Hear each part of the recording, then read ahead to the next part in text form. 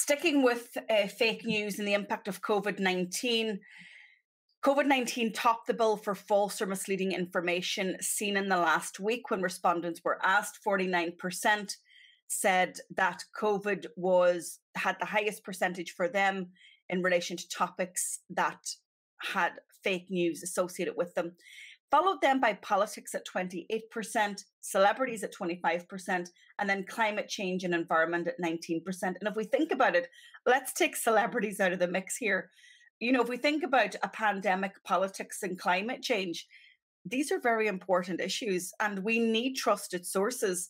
And what the public are saying in this study is that we need more trusted sources and we are going to follow them. And this is goes back to my perennial argument that government and public sector really need to step into the vacuum and really need to take ownership for topics that they are responsible for.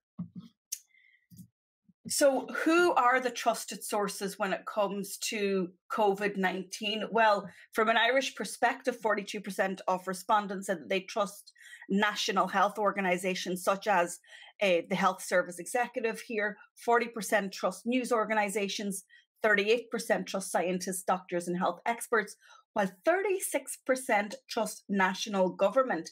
So, a bit of a way to go there. So, this really is shining a light on the importance and the dire need for senior leaders and organizations to embrace the world of digital and to get their information out there because the only source of news right now is not just traditional media outlets.